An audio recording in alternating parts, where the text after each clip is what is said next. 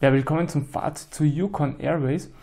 Und ja, ich will sagen, ich habe hier drei Spiele gespielt, einmal zu viert, zweimal zu zweit. Und das reicht mir, um dieses Spiel äh, aussagekräftig meine Meinung sagen zu können, denn dann kennt man das Spiel und weiß, was es macht. Und das ist einfach genial. Aber wie immer die Eckdaten und die Standardpunkte als erster, ja, Eckdaten, äh, Standardpunkte. Material äh, absolut cool. Ja, also die Box fühlt sich schon sehr hochwertig an, ja, mit UV-Print und so weiter. Äh, die Qualität setzt sich auch bei dem Spielmaterial fort. Sehr schöne Karten, sehr schönes Material hier drin. Äh, fühlt sich alles haptisch auch richtig geil an. Äh, schöne Holzflugzeuge, die ihr da habt und coole Holzkomponenten und vor allem das Artwork hat mich auch total abgeholt. Ja. Also ich muss sagen, das Ganze ist hier, wenn ihr euch das Cover schon mal ansieht, ja, das ist so schön thematisch gestaltet. Ähm, vor zwei Jahren habe ich selber noch gerne Modellflugzeuge geflogen. Ja, das erinnert mich dann auch irgendwie ein bisschen daran. Äh, ich müsste das mal wieder aktivieren, dieses Hobby. Und das ganze Thema kommt eben aufgrund des Artworks auch schon ganz gut rüber, ja, wenn man sich die Landkarte hier ansieht und vor allem diese sauschönen Ticketkarten hier, die, die haben so eine schöne Rückseite, einfach geil. Und als Tipp hier eben äh, Hinweis auch, beziehungsweise gleich so ein Easter Egg auf mein letztes Video, ja, hm, Ultimate Guard Supreme Frosted habe ich hier benutzt. Ja. Also ich zeige es nochmal, Frosted, ja. Frosted ohne matt, ganz wichtig, falls euch die Sleeves gefallen haben. Ähm, die habe ich hier benutzt und die Kartenrückseite, ja, die ist einfach sehr schön. Auch die Vorderseite der Tickets, mich hat das Ganze total abgeholt. Also materialtechnisch finde ich es echt toll. Ja, dann ähm, Spielanzahl. Ich habe zu zweit und zu viert gespielt. Ja, logischerweise fällt drei Spieler natürlich auch unter die Vier-Spieler-Kategorie. Ich kann nur sagen, es funktioniert hervorragend zu zweit, hervorragend zu viert und wahrscheinlich auch zu dritt. Der Unterschied zwischen zwei und vier Spieler bzw. drei Spieler, das wird natürlich die meisten interessieren, der besteht einfach darin, ihr habt dann pro Spieler nur zwei Holzwürfelchen, was das Ganze natürlich enorm eingrenzt. Ja. Ähm, da war ich anfangs skeptisch, aber ich kann euch beruhigen, wenn ihr das Spiel zu zweit spielen wollt, macht es auch enorm viel Spaß. Ja. Das Einzige, was euch vielleicht ein bisschen fehlen wird, mit mehr Spielern ist das Spiel viel gemeiner, viel fieser. Ja. Alleine schon beim Dice Drafting ist es viel gemeiner, weil die, nicht alle Würfel auch neu geworfen werden und die Würfel dann auf den Feldern liegen bleiben. Und ja, da wird euch sicher oft ein paar Würfelchen weggenommen werden, ja, wenn ihr kein Geld habt und die Würfel nicht bewegen könnt, und das ist natürlich auch ein schöner Aspekt, das mit den Würfel bewegen, aber mit mehr Spielern ist natürlich dieser Konkurrenzdruck größer, aber ich will nicht sagen, dass es zu zweit dann schlecht ist, nein, überhaupt nicht. Ähm, es ist beinhart auch zu zweit, ja, wie gesagt, es liegen weniger Würfel da und da kann es sein, dass eine Location mit einem Anflug schon abgefrühstückt ist. Ja. Und das hat natürlich auch einen positiven Effekt, der sich auch auf die Spieldauer auswirkt, meine Frau hat die zwei, haben die zwei Spielerpartien enorm angefixt. Ah, so viel nur dazu. Also ich finde, es funktioniert in jeder Besetzung sehr, sehr gut. Ähm, nur solo habe ich leider keine Zeit gehabt zu testen. Ja, dann äh, die Thematik finde ich kommt auch ganz gut rüber. Natürlich ist es eher äh, von der Mechanik her abstrakt. Klar, ihr habt das Worker Placement Mechanismus mit diesem Dice Drafting, ja, aber andererseits ist es schon sehr, sehr thematisch. Nicht nur wegen dem Artwork, sondern auch, dass man hier Gates gemacht hat, ja, und die Würfelpassagiere sind. Und jetzt kommt, die setzt man in sein Flugzeug und basierend auf dem Gewicht, das ihr im Flugzeug habt, ja, wegen den Passagieren eben, habt ihr dann auch Treibstoff für die nächste Runde zur Verfügung. Und es passiert euch garantiert am Anfang, wenn ihr das erste Mal spielt, dann denkt ihr nicht auf diesen Effekt mit dem Flugzeug. Ja, man sitzt da und denkt sich, ja, wie komme ich denn an Treibstoff, wie komme ich denn an Treibstoff? Ach ja, ich darf nicht so viele Passagiere mitnehmen. Wenn ich nur einen reinsetze, bekomme ich schon drei Treibstoff und dann denkt man noch drüber nach, ja, äh, wie viele Karten als Bonus spiele spiel ich dann aus, um noch mehr Effekte zu triggern. Ja, das ist dann natürlich das bisschen abstrakte, was dann aber wieder in das schöne thematische umwandert.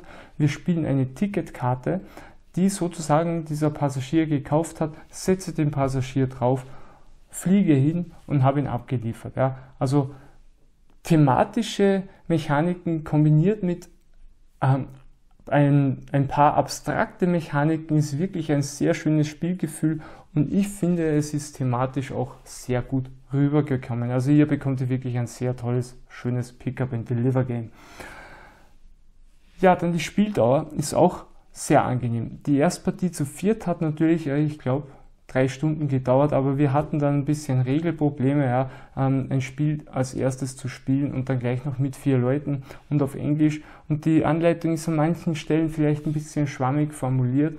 Ja, da kam ich dann auch anfangs selber nicht ganz zurecht. Das kann man dann ummünzen, wie man wollte. Ihr, ihr kennt das, wenn es Regeln gibt, wo man sagt, ja, das könnte man auch so spielen oder so.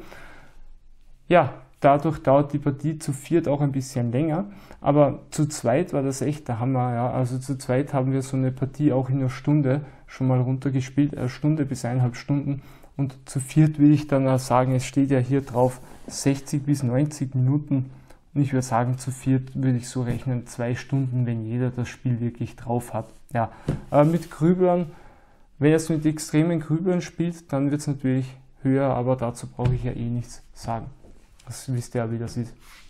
So, Preis-Leistung finde ich sehr gut. 45 Euro hat das Spiel gekostet. Also wirklich äh, für das, was man bekommt, ja, ein tolles Spiel, tolles Material. Da ist schon ganz schön was drin auch. Ja, also 45 Euro ist, finde ich, total korrekter Preis für dieses tolle Spiel.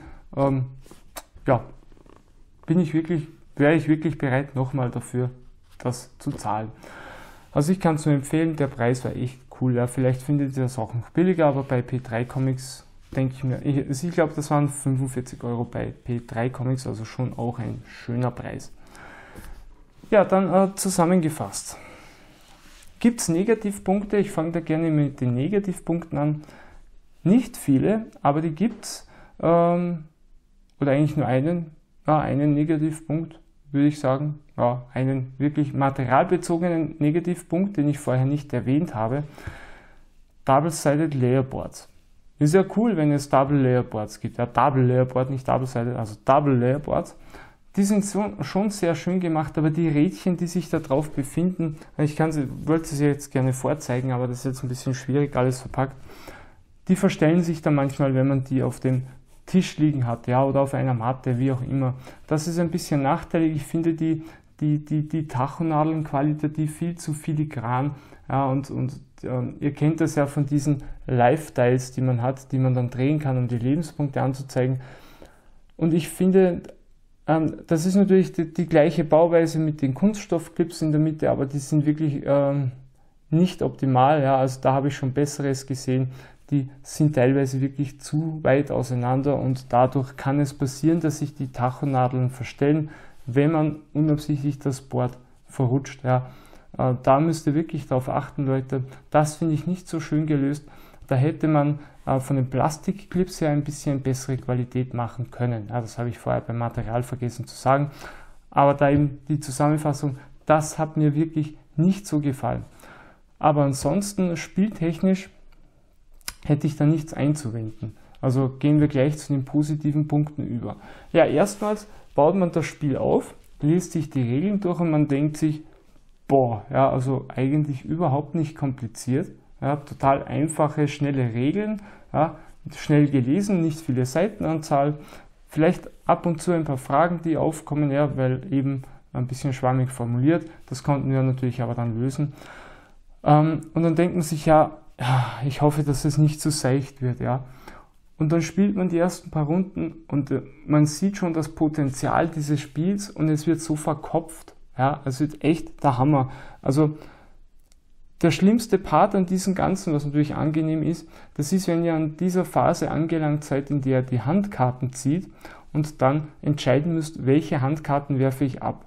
Ja, und dieser Effekt, den habe ich so stark noch selten in einem Spiel gesehen, weil ihr bekommt dann so viel Input auf einmal in den Kopf, dass es der Wahnsinn ist. Ja, ihr müsst berechnen, wo fliege ich hin? Ihr habt 10 Locations, ihr habt 15 Würfel auf dem Spielplan mit verschiedenen Farben. Ihr habt verschiedene zufällig aufgeteilte Cubes auf den Locations. Ja, das heißt schon, ich glaube, drei Faktoren war das jetzt, dass ihr mal berechnen müsst. Ja.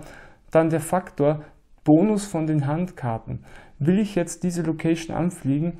Äh, und auch noch die zwei Bonuskarten dazu spielen, ja, oder fliege ich eine andere Location an, damit ich andere Bonus-Symbole triggern kann und verzichte auf die andere Location. Ja. Ähm, dann kommt noch der Faktor dazu, ja, da gehen mir die Hände schon und die Finger aus, ähm, kommt der Faktor noch dazu, dass ihr dann die Upgrades berechnen müsst. Ja. Ähm, gehe ich lieber zwei Würfel abliefern, äh, zahle ein bisschen mehr Geld ja, für die Aktion, dass ich Würfel bewegen kann und ähm, bekomme dadurch zwei Upgrades oder wenn es gut läuft sogar drei, drei Upgrades. Welche Upgrades will ich denn dann überhaupt durchführen? Welche Strategie will ich denn da fahren für die nächste Runde? Ja? Also das wären schon sieben Faktoren, die ihr im Kopf zum Denken habt. Ja? Also wie gesagt, auch dieses Einberechnen der Würfelbewegungen, bevor ihr den Würfel nehmt. So, dann kommt der nächste Faktor dazu. Ihr habt ähm, von diesen sechs Einsatzfeldern noch die Aktionen dazu, die ihr triggern könnt. Und das alles müsst ihr in eurem Kopf durchplanen, wenn ihr entscheidet, welche Karten ihr abwerft. Ja? Klar, das kann natürlich ein bisschen zu Downtime führen, aber dadurch, dass jeder Spieler gleichzeitig überlegt, fällt euch die Downtime fast nicht auf. Ja? Und das ist sehr geil gemacht in diesem Spiel. Das ist irgendwie so genau der Punkt, an dem ihr wirklich entscheiden müsst, was mache ich und wenn ihr dann einen Fehler macht, ja, dann könnt ihr schon noch ausweichen auf andere Locations, wenn ihr die auf der Hand habt, aber meistens dann mit Einschränkungen. Und das ist echt genial in diesem Spiel, ja. Und wenn ihr das zu viert spielt, dann kommt noch der Faktor hinzu, ihr müsst schauen, wo bewegen sich die anderen Spieler hin, ja. Also, da kann man schon vielleicht antizipieren, welche Sachen will er wieder haben. Man startet ja immer wieder in der nächsten Runde von derselben Startposition, ja, von derselben Location aus und macht einen One-Way-Ticket-Flug durch. Das ist natürlich sehr geil. Und das sind alles Faktoren, das müsst ihr genau in diesem einen Moment berechnen, um euren späteren Zug dann wirklich für euch optimal durchführen zu können. Und das ist richtig geil in diesem Spiel.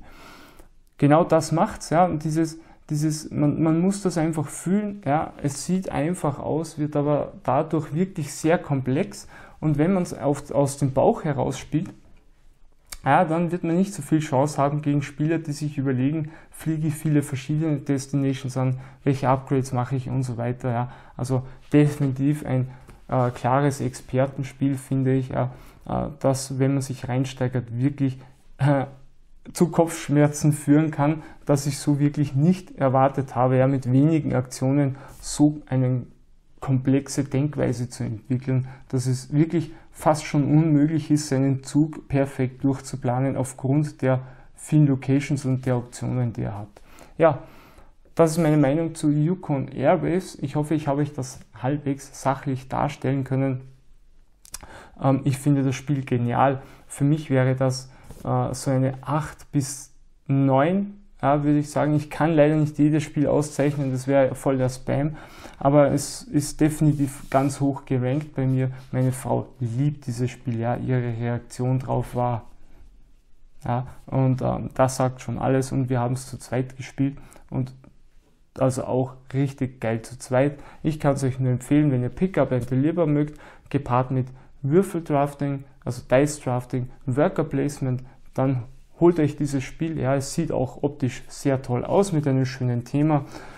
Ähm, da habe ich auch gelesen, dass der, der Vater des Autors da noch äh, viel mitgewirkt hat, der dann aber 2014 auch verstorben ist und leider nicht mehr mit ansehen konnte, wie äh, sein schönes Spiel hier verwirklicht wurde. Schade darum, äh, tut mir echt leid, aber das ist wirklich eine Perle geworden, eine Messeüberraschung sozusagen und meine vollste Empfehlung für Eurogame-Liebhaber. Kauft euch dieses Spiel. Und das war's. Ich hoffe, wir sehen uns bei der nächsten Rezension wieder. Lasst mir einen Daumen hoch da, ein Abo oder unterstützt mich auch auf Patreon, wenn ihr wollt. Und dann sehen wir uns wieder. Ich hoffe beim nächsten Mal. Viel Spaß beim Spielen. Euer aus dem Boardgamer. Ciao.